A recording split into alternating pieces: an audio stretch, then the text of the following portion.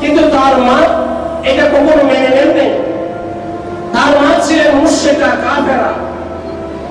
মা চায় না সন্তান মুসলমান হয়ে যায় কিন্তু সন্তান রহমতুল্লাহ আলমী নবীর দরবারে এসে সে তো মুসলমান হয়ে কলমা পড়ে ইমান ইসলাম গ্রহণ করে ফেললেন।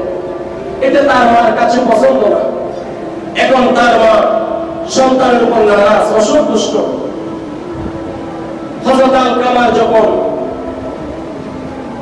জীবনটা শেষ হয়ে যাচ্ছে, সে যখন দুনিয়া থেকে বিদায় নিচ্ছে, তখন আল্লাহ রসুলের কাছে সাহাবা একরাম এসে বললেন, ইয়া রসুল আল্লাহ আল কামা তো মুসলমান ছিল, সেটা একজন সাহাবি।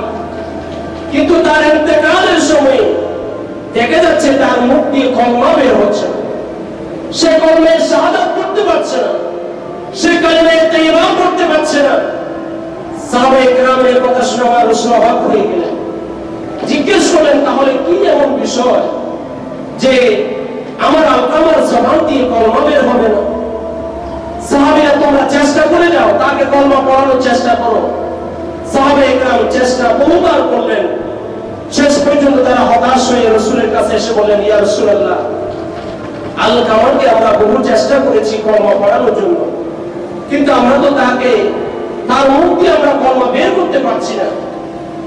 তখন আল্লাহ রসুল বললেন, তাহলে তার মাকে আমি রসুলের একটা বার্তা দাও, যেন সে আমার সাথে একটু কথা বলতে আসে।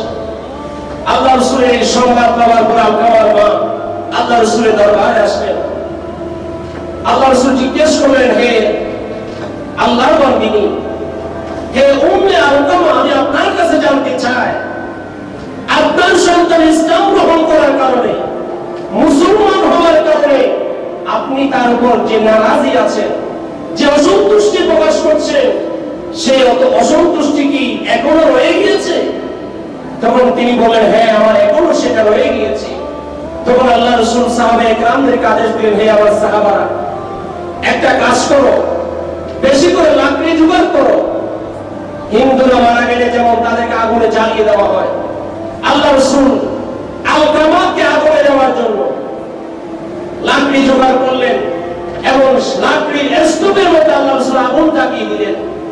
এবার মহিলাকে আল্লাহ রসুল বলে হে উম্মে আল কামা আমি যদি আপনার সন্তানকে এই আগুনের মধ্যে নিক্ষেপ করে দিই, সেটা কি আপনি সহ্য করতে পারবেন? তখন মহিলা হাও মাও করে কেঁদে দিলেন, বললেন, ইয়া রাসূলুল্লাহ, আমার সন্তান ইসলাম গ্রহণ করার কারণে আমি তার উপর ছিলাম, সত্য। কিন্তু সে আমার চোখের সামনে আগুনে চলবে এটা কীভাবে আমি বরদাস্ত করি? আল্লাহ বলেন, তাহলে আপনি আপনার সন্তানকে মাফ করে দেন।